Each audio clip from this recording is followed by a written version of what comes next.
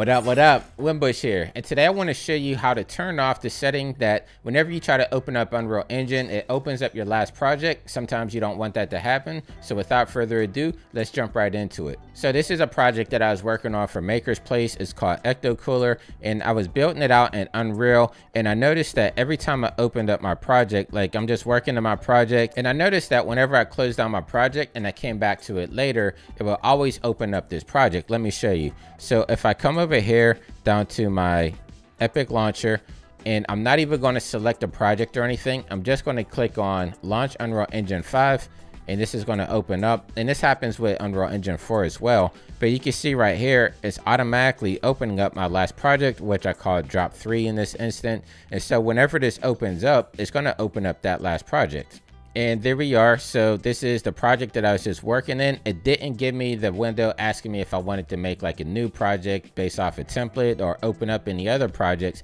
And so i found a way to actually revert this so that this doesn't keep opening up. And so what you need to do is actually come up here to file and you just need to click on open project here under project and this is going to bring up this window right here and this is what we want to turn off. And so there's a little box down here this says always load last project on startup which we don't want. So i'm going to click that off and then i'm going to cancel this.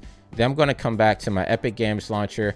I'm going to launch unreal engine 5 and now you can see that it's starting off with a blank slate here and this should open up my project window and which we have right here. So we have our Unreal Engine project browser. I can start from an old project and actually go to one of these templates and start a new. So hopefully this helped you guys out. I ran into this problem when I was trying to film my last tutorial and work on a project at the same time. It kept opening up the previous project, which I didn't want. I wanted to have a blank slate. And so this was the solution to my problem there. So if this helped you out, make sure you leave me a comment down below. If you're new to the channel, make sure you subscribe, leave me a big thumbs up. And until next time, stay fresh fresh, keep creating, and I'll catch you in the next video. I'll see you soon. Take care.